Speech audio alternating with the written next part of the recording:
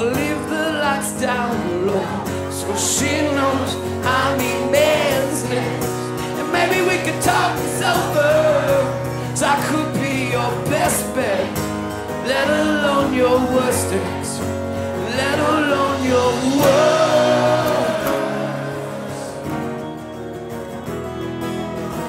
I wanna hate you so bad, but I can't.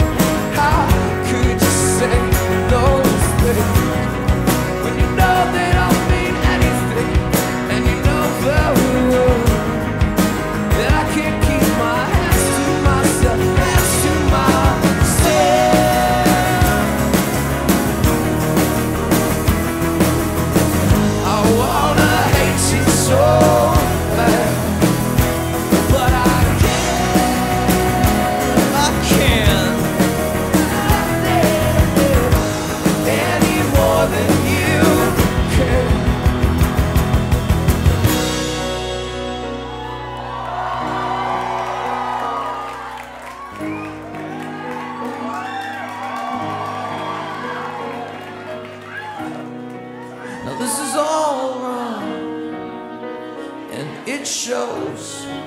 Certain things I promise not to let you know.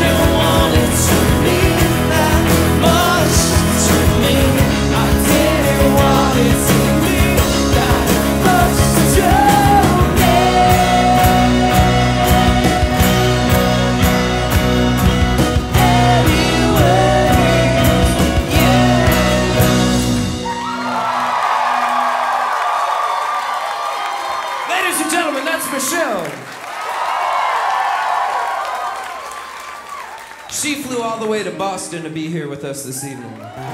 So John and I are in the strip club, and uh, we uh, it was a two drink minimum, and we wanted to get the hell out of there as soon as we could. So they pour you about half a beer. We slammed it down, and they're like, "Oh, you want your second one?" we're like, "Pay the tab." It was like thirty dollars for three half beers. We ran the hell out and never looked back, and we just went to some college bar after. This might be it. This wasn't the first time. Yeah, the first time I was yeah. in Well, New well, Orleans. because it was because then because and because and it, it was at that Dixie Tavern Yeah. place, Tavern. Yeah. and and then uh, it was like probably like 20 minutes before we had to play, and Eddie's freaking out, and I'm freaking out because we didn't think you guys would make it back Yeah. in time. Yeah, oh, they made it back. And then- oh, they yeah. made it back. They're like, ah, So you go- and I was like, oh god. I just remember John trying to plug his pedals in and falling over. and like and not being able to do it and then just finally being like fuck it and he I just, just plugs didn't direct any into his amp and, and threw the pedal across the room. Yeah. Funny. We'll do it live. yeah, I just plugged right in. And I, I'm play, I played terrific that night, as I remember. Yeah, I was were right on. right on fire. I thought I was in a band with Yngwie Malmsteen all of a sudden.